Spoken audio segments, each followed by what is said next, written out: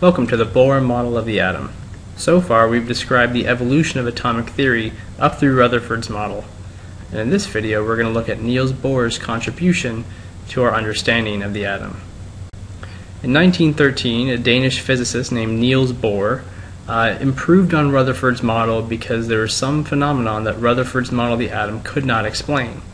Uh, in particular, Bohr improved upon Rutherford's model by specifically describing the behavior and position of electrons in the atom. He said electrons are only found traveling in fixed orbits that are at set distances from the nucleus and have set amounts of energy. So how did he come up with this idea of orbits? Well, he was trying to explain some phenomenon, one of which is called an emission spectra. So as it turns out, if you take hydrogen gas and you run a current through it, it emits a certain array of colors. And here we have the bands of light that hydrogen gives off. It gives off a purple color, a bluish purple color, a teal color, and a red band. These are actual colors that are emitted by the hydrogen. Another example is when uh, metal is heated, it typically takes on different colors until it becomes white hot. It's giving off a very bright white light uh, but it goes through a series of emissions of different colors before it gets to that stage. So Rutherford's model didn't really explain where any of these colors were coming from, and Bohr determined that it had to do with the electrons and the position of electrons. So let's take a look at his model. So in Bohr's model, we have a tiny nucleus in the middle, the dense nucleus, just like in Rutherford's, and we have orbits that are at set distances away from the nucleus.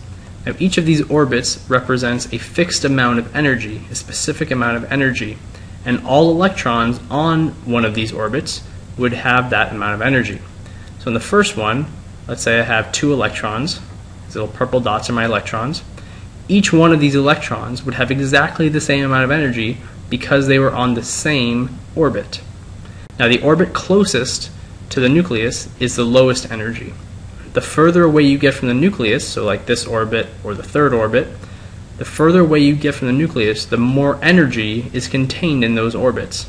So an electron on this orbit would have more energy than an electron on the first orbit. Now it's important to mention here that electrons cannot exist floating around between two orbits. So how does this explain the colors given off by hydrogen? Let's label these orbits so that we can refer to them more easily. The first orbit is always called n equals 1. The second orbit is referred to as n equals 2, and the third orbit is referred to as you might guess, n equals 3. So, we have an electron on the first orbit here, n equals 1. How is it going to get to n equals 2? Well, there's a specific amount of energy at n equals 2 and a specific amount of energy at n equals 1. So, if this electron gets hit by a photon of light, okay, that's an amount, that's energy. Okay, a photon of light is energy. If that photon that has the exact right amount of energy hits this electron, it will become excited from all that extra energy and jump up to the next level. Now, in this excited state, the electron is unstable and it will eventually fall back down. When it does fall back down, it's going to release all that energy as light. So where do all these colors come from? Well, a certain drop gives off a certain color. If I instead had an electron on the third level and it dropped down to and it dropped down to the first level, it would give off a different color light.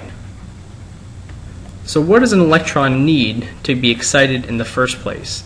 it needs a specific amount of energy that's called a quantum. Okay? A quantum is an amount of energy.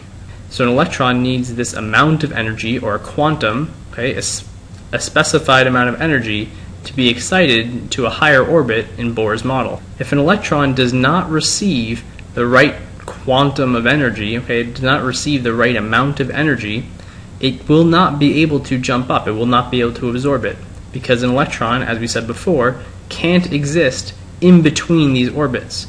Just like you can't stand on the space between steps on a ladder, an electron can't stay in the space between orbits. Bohr's model was able to successfully explain the colors that hydrogen emits. However, it only works for hydrogen and a couple of other elements. It did not do a good job of explaining anything else. So in the next video, we'll see how Bohr's model gets taken one step further to really explain all cases. That wraps up our lesson on Bohr's model of the atom. Any questions you have from this lesson, make sure you write them in your notes and bring them with you to class.